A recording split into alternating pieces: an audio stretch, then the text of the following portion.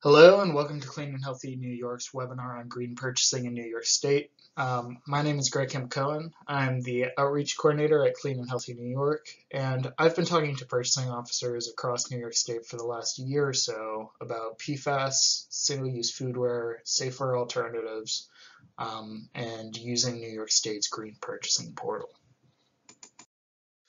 So a little bit about Clean and Healthy New York. Um, we were founded in 2006, and our mission is promoting safer chemicals, a sustainable economy, and a healthier world. Uh, we do that through four major outlets. So we do that through policy advocacy. Uh, what that means is we often talk to legislators about bills that exist or bills that we think should be introduced, um, largely oriented around getting toxic chemicals out of consumer products, but it's not limited to that. Um, we also do market campaigns, so we will collaborate with um, or otherwise interact with um, companies both in New York State and nationally uh, to try to get them up to speed on um, better policies for chemicals in their products. Um, we also do that through education, through things like this. Oftentimes we'll talk to childcare providers, um, you know, warehouse workers, nurses, um, about best practices and the best chemicals that they can use in their workplaces. Um, and we also do that through collaboration, um, both within New York State with the Just Green Partnership um, and uh, across the United States um, because the laws that exist in one state um, could very well affect the laws that exist elsewhere. While I'm talking about PFAS in foodware and green purchasing in New York State, some of the things that I'd like you to be thinking about are um, how is most food service ware handled in your facilities? What do you use? And how do you dispose of it? Um, and I think as a, an important secondary question to that is, is disposal factored into your budget um, when you're thinking about foodware, or do you consider that a separate expense? And I mention that because the way we think about cost is often incomplete. If you see a sleeve of polystyrene cups, for instance, and that's $3, and then you see one ceramic mug, and that's 5 in a vacuum, yeah, the polystyrene cups are clearly the cheaper option. Um, and it's important you don't fall into that trap because there are so many hidden costs there. Um, polystyrene has to be disposed of, somehow. Um, so who's paying for that? You have to repurchase it over and over. You need to have someone who does that repurchasing. Um, it's more likely to make your employees sick, um, which means less productivity. These considerations don't all go one way, right? Uh, a ceramic mug has to be washed, you need to purchase soap, and so on. Um, but when you think about cost, I think it's important to think about it holistically um, rather than just that sticker price. So with that in mind, I'm going to talk about what PFAS is, where you might find it, and why you should avoid it, especially when making purchasing decisions for your department. Um, PFAS, or per and polyfluorinated alkyl substances, are entirely man-made um, these chemicals exist in thousands of different formulations. They can be detected in virtually every corner of the environment, and they remain there for a very long time. Um, PFAS bioaccumulates in organisms at the top of the food chain. Um, so in all likelihood, uh, you have PFAS in your body right now, um, and it will remain there for quite some time. Part of the reason why PFAS is so prevalent in the environment is because it's an extremely effective repellent of both oil and water. Um, so if you've ever bought, for instance, fast food and uh, the burger is extremely greasy, the fries are extremely greasy, um, and you can see the blotches on the bag, uh, but that grease just like isn't coming through the bag or isn't coming through whatever container is holding that food. Um, that's not necessarily because of PFAS. There are uh, all sorts of alternatives that exist and that more and more companies are turning to. Um, but odds are extremely good that if you've consumed fast food, uh, you've consumed PFAS, um, and that is why. So where you'll find PFAS is basically any product where grease or water resistance would be a desirable quality. Um, that'll include popcorn bags, couches and carpets, nonstick pans, food wrappers and dishes, firefighting foams, you know, waterproof jackets. Um, and as a result of its prevalence in consumer goods um, and its production, uh, you'll also find it in drinking water. Um, as with most man-made chemicals, the research around the long-term effects of PFAS is ongoing. Um, but the health effects we know can stem from PFAS exposure are delayed puberty, um, higher cholesterol, lowered fertility, um, a reduced response to immunizations, um, and possibly cancer. Um, this is not, you know, uh, a small concern. Um, you really do want to get PFAS to the best of your ability out of your workplace. PFAS um, are in compostable products to make them water and grease proof. Um, so in testing, uh, we often find high levels of fluorine, um, which is indicative of the use of uh, PFAS additives. Um, you'll find that in products including recycled paper, sugarcane waste, wheat straw, silvergrass. And part of what makes that so tricky is that while those products themselves may be compostable, um, composting centers often do not accept products um, that look like PFAS have been um, included as additives. Um, often there will be like a bit of a sheen, um, like reflective of light. Uh, and if that's the case in those products, um, they just won't accept it, which makes those products functionally non-compostable. New York State's procurement guidance on food service containers and wrappers prefers reusable food service containers first. So whenever possible, um, they they hope um, that you'll be using things like ceramic products, um, metal products, and so on. In the event that you can't do that, if you're hosting, for instance, um, a really big event uh, with with and, and you, this isn't something you do often, um, you would then ideally use um, single-use containers and wrappers that are compostable um, in a commercial or municipal facility. Um, failing that, uh, they should be easily recyclable. And failing that, made with a minimum percentage of post-consumer recycled content or sustainably harvested content. Um, products that are covered um, should not contain PFAS chemicals or polystyrene. So reusable options, um, these are things that hopefully you're already using in your workplace. You're almost certainly using them in your home. Uh, it would include ceramic plates, bowls and mugs, um, glass beverageware, stainless steel utensils, travel mugs. Um, these are really the best option. Now, it, it's not always um, the case that you're going to be able to use reusables, um, but whenever you can, um, I would hope that you would endeavor to do so. In the event that you do have to use single-use foodware, um, ideally then you would be using compostable foodware. Um, that could include bamboo products, uh, clay-coated paper or paperboard, um, or uncoated paper. Uncoated paper typically does not test as having any fluorine, um, but when it does, it's often very little. Um, so th these are your best options uh, if if reusables are not on the table for you. So in the event that you can't use compostable foodware options, uh, you would then try to have the optimal recyclable solutions. Um, in most communities, number one, PET plastic will be accepted. That's about 65% of communities. Um, number five, polypropylene uh, is accepted in about 61%.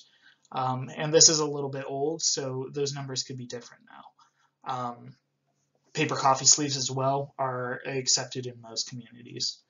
Uh, what's not recyclable is, of course, um, foodware that's contaminated with food uh, beyond the beyond the point of salvageability. So napkins, for instance, uh, you're not going to be able to recycle those. Um, most plates, bowls, or takeout containers, if they're just you know if they're not cleaned off, um, that cannot be accepted.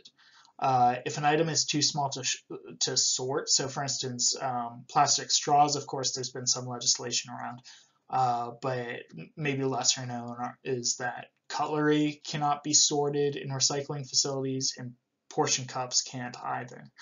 Um, and a lot of paper products um, that have non-recyclable liner, um, that cannot be accepted either beyond the very basic consideration of whether your single-use foodware is even disposable or compostable in your um, local facilities, um, there are some other things that you want to keep in mind. You want, if you are using paper or wood products, um, to make sure that they are sustainably sourced uh, one way to do that is to look for the Forest Stewardship Council's certification on the product. Um, you want to make sure that these products have chlorine-free bleaching um, or that they're using, using water-based inks and glues. Um, and you ideally want to be using feedstock and final products that are produced in North America um, because that means that it's not being shipped all around the world, you know, using fossil fuels or um, other energy intensive modes of transportation. Why should you avoid polystyrene in your single use foodware? Um, is a good question because it's definitely cheap and it's definitely pre prevalent. Um, it's reasonably anticipated to be a human carcinogen. Um, it's often not consumed in the way that it's intended, as in it, um, people often heat up uh, food in their polystyrene containers in the microwave, um, which is much more dangerous. But even when consumed as intended, um, there are adverse health effects. Um, it's also slow to degrade. Um, so it, it, once it goes in the landfill, it stays there uh, and it can occupy a lot of space. Um, and it's not recyclable um, in any facility in New York State. One tool that I like to use when judging the relative chemical footprints of plastics is Clean Productions Actions Plastic Scorecard. Um, it gives you a sense of how benign a plastic is and how intensive the process for producing it is. Um, so if you look here, for instance, polylactic acids are, this is fairly benign um, and not too intensive to produce, whereas polyvinyl chloride, for instance, is quite hazardous um, and takes a lot of energy to produce. Um, polystyrene as well, um, very hazardous. Um, and it does take a lot of energy. It's not easy to determine the best purchasing options for your needs. Uh, we just spent about 12 minutes on PFAS and foodware, and that's just one type of thing you might have to purchase, right? Um, it would be a very large burden to place on purchasing officers um, to expect that they research each individual type of product they might use in their workplaces, uh, their most sustainable and hazardous options, um, make a decision, and so on. Um, luckily, the Office of General Services in New York makes this easier on us by offering the Green NY portal. Um, through this, all government bodies and eligible nonprofits can purchase at state negotiated rates products that reduce or eliminate the health and environmental risks from the use or release of toxic substances, um, minimize the risks of the discharge of pollutants into the environment, minimizes the risks and volume and toxicity of its packaging, um, maximizes the use of recycled content and sustainably managed renewable resources, and provides other environmental or health benefits. There are three types of contracts covered in the OGS centralized contracts in Green NY. These are commodities, um, services, and technology. The state central procurement office is responsible for establishing and managing centralized contracts for goods and services needed by authorized users across New York State. Um, it manages approximately 1,500 contracts worth $4.5 billion per year. Um, so effectively, they oversee the seventh largest economy in the world. Uh, what that means for you is that if they are negotiating uh, prices on behalf of the seventh largest economy in the world, uh, those prices are, of course, going to be better uh, because they're in bulk um, relative to you as an independent nonprofit or a small municipal office um, purchasing for yourself. You can use the portal if you're any of the following. If you're a state agency, of course, you can use the portal, um, but also local governments, um, school districts, even private schools, universities or colleges, um, charitable nonprofit organizations can use it, public authorities, and public benefit corporations. Why should you use OGS's centralized contracts? Well, it saves time. Um, you don't have to spend a lot of time doing research yourself, um, which has a lot of pitfalls, uh, especially for people who maybe are new to trying to purchase sustainably. Um, companies will often have dubious certifications, um, or they might make claims about their products that are either unverifiable or extremely difficult to verify. Um, and OGS cuts through the noise for you. You don't have to spend a lot of time comparing offers either, uh, so you don't have to go to Target or Walmart or Staples or what have you, uh, trying to determine the best cost. Um, so it saves you money. Um, and in addition to that, um, because these contracts uh, are negotiated by the state, um, you aren't going to be paying sticker price the way that you would if you were just going to a Target and you know buying it off the shelf. And it's fairly easy. Um, this is this is not a very challenging process uh, once you have the basics. You can find OGS's decentralized contracts by going to the Procurement Services website. That's www.nyspro.ogs.ny.gov. Um, you're going to click Find Contracts, click either commodity, service, or technology contracts, depending on what you're looking for. Um, and the page will then display an alphabetical list of contract groups. In order to use the OGS's centralized contracts, you need to obtain an OGS customer number. Um, so you're going to want to click on Information for Buyers. Uh, you view the contracts on the website, follow the procurement instructions for the contract, um, and then if you run into any snags, uh, you can contact either the contract manager um, or the customer services office at 518-474-6717 or customer.services at ogs.ny.gov. Um, both are available here on the slide. The OGS offers um, approved EO4 specifications for each type of product that they sell. So for instance, we were talking about single-use food containers earlier. Um, they have product specs um, that, that they're looking for when they list those products on their website. Um, and the goal is always to have the most sustainable options. Uh, these are all available online um, if you want to get a better sense of what those specifications are.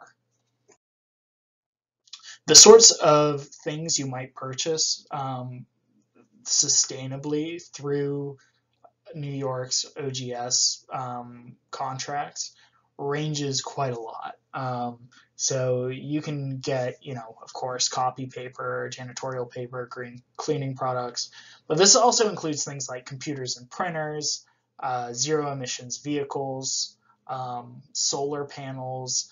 Uh, in terms of services, you can get composting. So it really runs the gamut, and uh, I would encourage you to spend a little while to see just how broad the range of available products and services really is. cleaning products are especially dicey terrain um, when you're trying to make sustainable purchasing decisions, in part because there is so much greenwashing around them. Um, people will make a lot of really dubious claims about the safety of their products. Um, and uh, it, it, it really is good if you can have a sort of guide through this um, that is sensible and uh, maybe arrived at by professionals. Um, this is one area where I would especially encourage you to investigate OGS's options.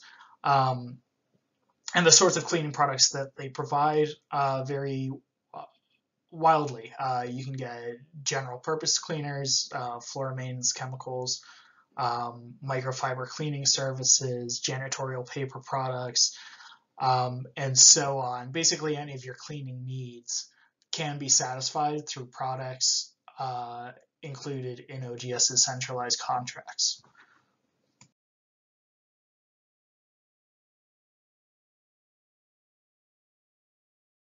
So thank you for joining us. Um, my name again is Greg Campbell Cohen. Uh, you can find me at greg at cleanhealthyny.org.